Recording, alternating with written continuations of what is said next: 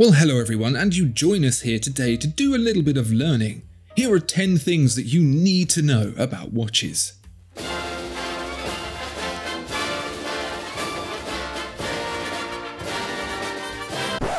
Good morning, Tom. As every day passes, I would say that your watch knowledge is increasing. Would you agree with that? Yes, but you have to offset that against my watch knowledge retention, and uh, we're not sure how that's going. Well, I think you've got to the stage where you've learned enough about watches where we can go to that next level, and I can I can break your mind with some new information that I think you need to know and other people need to know as well about watches. Are you prepared for that to happen? Yeah, cool. Lay it on me. All right, here they are. Number one. Let's get straight into it. Tom, if you were to do a petition of the everyman, who they think the best watchmaker in the world is, what do you think they'd say? The everyman. Hmm. Probably fossil. Um, I imagine if you were to ask people a luxury watchmaker, most of them would know Rolex, and as such, consider them the best. Would you agree with that? Watchmaker or watch seller? I think they're probably the best watch seller. I think you've hit the nail on the head there. Rolex isn't the best watchmaker, not by a long shot. I think, Tom, you probably actually know a number of other watchmakers at the same price point that do a better job. Yeah, sure. The famous one's probably Grand Seiko. If we're talking about how well finished they are and how beautifully made they are, I suppose. Yeah, exactly. So, from a pure watchmaking perspective, never mind the brand and the cachet around it, you can spend that money and get better watchmaking. Sure. The the beauty, the artistry, the um, the skill for that money. And that brings me on to point number two, because one of those brands that you can get better finishing for for more money than Rolex is Patek Philippe. And if you were to petition a slightly more select group of people in the world, they might say that Patek Philippe is the best watchmaker. Do you agree with them on that? I mean, yeah, Patek Philippe probably one of the best. I mean, they're up there, but there are people out there doing watchmaking at a much higher, more complicated level than Patek Philippe. Yeah, you're absolutely right. Patek Philippe is really in the mainstream when it comes to the, the fine art of watchmaking, but you start to dabble a little bit more.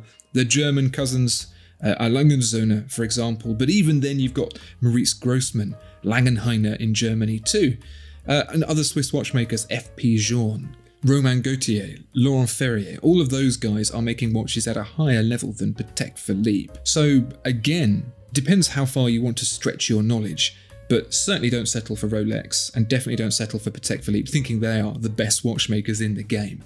Tom, to, to move on to point number three, I think you would agree with many people that mechanical watchmaking really is the peak. Yeah, that's the most romantic form of time telling, isn't it? And therefore the best.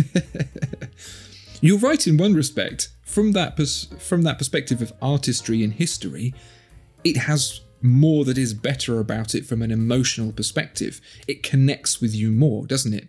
It's Yeah. just something nice about things that are generally analog and mechanical compared to their digital counterparts. But ultimately, the mechanical movement is flawed, heavily flawed compared to what's capable today when it comes to timekeeping. Never mind atomic clocks, a $10 quartz movement will keep better accuracy than a mechanical one, will be less susceptible to magnetism and shock. Overall, will be a better timekeeper. Which brings me on to my next point that whilst quartz isn't the emotional connector that mechanical is, that doesn't mean it's crap yeah. a $10 cheap piece of throwaway plastic is a pretty naff thing. It's not very well made, but that doesn't mean that quartz movements can't be made to a very, very high quality. Have you ever heard of a high quality quartz watch? Yeah, I've seen some. They're quite nice. I think some people, when they think of quartz, they think of, you know, a bit of copper coil wrapped around a thing with a little crappy crystal that you might get out of a Christmas cracker. But actually, you know, some of them just look as impressive as any other mechanical movement. I think the big letdown for a quartz movement is always the button battery, isn't it? no matter Yeah. how Swiss made and expensive your movement is, you're going to put a button battery from Argos in it. Yeah, silver paracetamol in the back of your uh, watch movement. But nevertheless, Rolex have made a high end quartz. Hmm. Grand Seiko continue to make high end quartz. Jaeger LeCoultre, Patek Philippe, FP Journe even make very desirable high end quartz, often with extra little bits of fun and games in there to, to throw a unique spin on how they work, and all certainly with very high quality finishing, as you said, in comparison to what you'd expect of a mechanical movement. So, if quartz is something you like the sound of, you can still get one that is very high end. Hmm.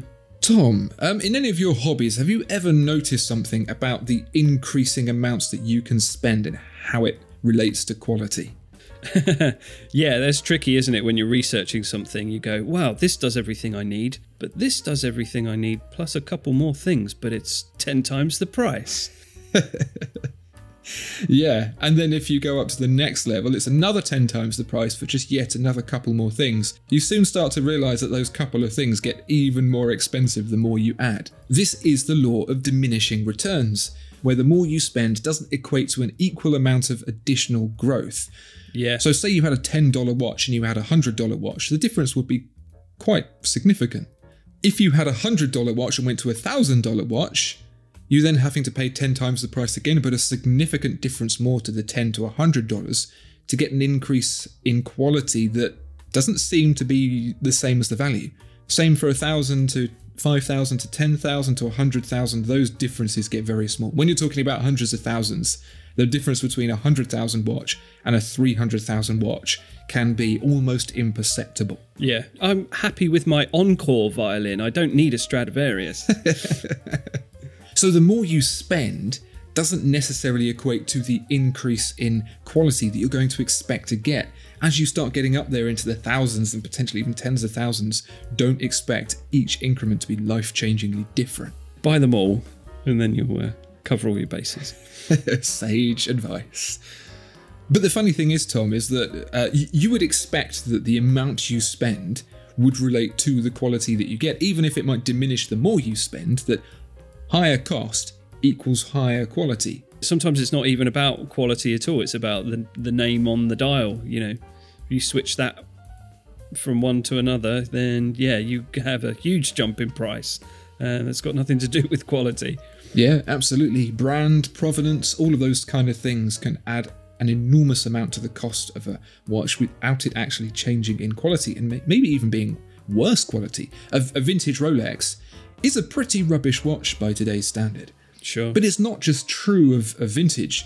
Um, are you aware of any watch manufacturers that charge a lot of money that don't necessarily offer the quality that you'd expect? Oh, you put me on the spot. Uh, no, they none of them do that. They all, you all get what you pay for. I wish, I wish, I wish. Um, there are some brands out there. You might recall that the Audemars Piguet Royal Oak's original modus operandi was to be way more expensive than it should be, with Ah, its sure. obviously distinctive shape, basically showing off the fact that you could pay over the odds for a simple steel watch. That was the idea. It was a show of wealth. That continues today. Brands like Hublot and Richard Mille, they are more about what you look like wearing them than how much value you get for the cost spent. The money that you pay ends up going towards getting those watches on the wrists of anyone out there that can possibly be of value from a, a marketing perspective Formula One race drivers, tennis players, etc. But you don't necessarily get the quality that you're paying for. But it doesn't necessarily mean it's a bad thing. If you like, say, a Richard Mille or a Hublot, as long as you know that you aren't getting that value for money, if you still want it, you still want it, Yeah, and you're still going to have it. it costs what it costs. Yeah. Tom, let's move into the manufacturing portion of this things you need to know. Yeah. Are you aware of the term in house and what that means in watchmaking? Sure, yeah, that's when a watchmaker, a brand will do everything themselves from start to finish. They'll they'll sketch out the picture of the watch in MS Paint or something like that, and then they will stamp it out on a big sheet of metal and then attach the hands and everything all themselves, all under one roof. That's certainly the perception, isn't it? Um, and there's a perception that sits alongside that, which is that in house is better. Right, yeah. Does that sound familiar? The perception of watchmaking is everyone loves the idea of that uh, wizened watchmaker with their white coat um, hunched over their bench filing away a little part, and they want it all to be this sort of artisanal endeavor that it's all just a really, really nice sort of homegrown kind of one of a kind product that you're getting that's been really, really attentively made and cared for by this single maison of diligent watchmakers. And that's a romantic idea. And yeah, that's that sounds nice. Yeah, let's do that. well, the reality is slightly different to that in most cases, purely for the the benefit of affordability. Sure. The wizened watchmaker making everything by hand in house is an incredibly expensive thing to do. And so most watch brands will, if they make their movement in house, will be making them via CNC machine for the most part. Yeah. Oftentimes, because in-house isn't really a regulated term in any stretch, like Swiss made is, you, you have to have 60% of the value of the product made in Switzerland to be called Swiss made. In-house, completely unregulated. That can mean everything from you made every last piece under the roof of your manufacturer to working with external suppliers to supply bits like balance springs, mainsprings, balance wheels, jewels, even to having an external company design and build a movement for you exclusively that is then assembled by the watchmakers within your factory. Sure. Because it's unregulated, it can mean anything from one sense to the other and doesn't necessarily have the value that people perceive it to have. So, if I were to buy in a a full um, caliber movement, say like an ETA, and then engrave my brand name on the Road to Eight, that that wouldn't count as in house. Not anymore. Shame.